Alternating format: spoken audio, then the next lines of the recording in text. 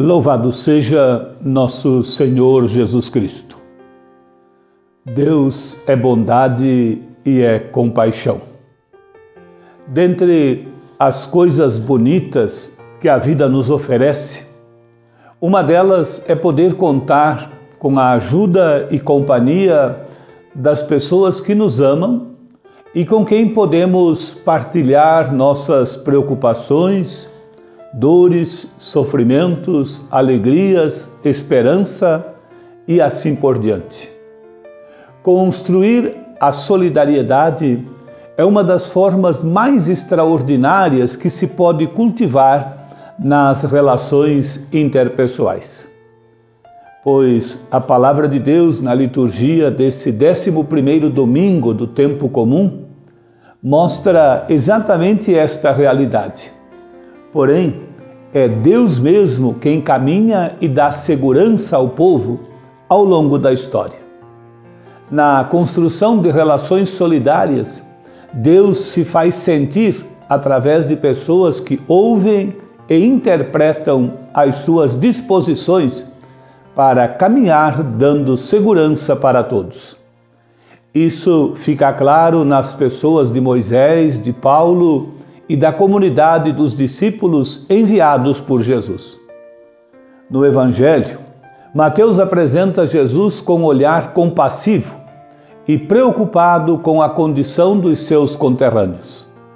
Vendo Jesus as multidões, compadeceu-se delas, porque estavam cansadas e abatidas, como ovelhas que não têm pastor.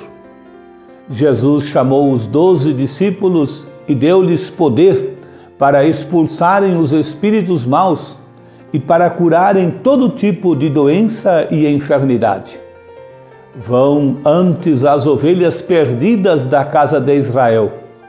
No seu caminho anunciem: o reino dos céus está próximo. Curem os doentes, ressuscitem os mortos, purifiquem os leprosos, expulsem os demônios.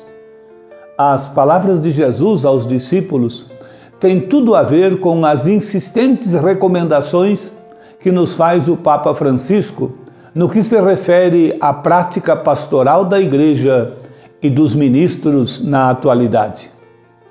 Compaixão e misericórdia.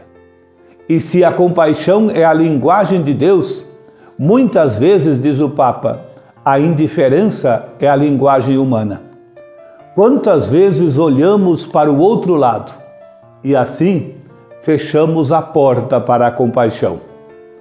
A compaixão nos convida ao compromisso, ao anúncio do reino. Nossa missão como cristãos consiste em continuar a missão de Jesus, doando gratuitamente aquilo que recebemos na mesma condição. De graça receberam, de graça vocês devem dar.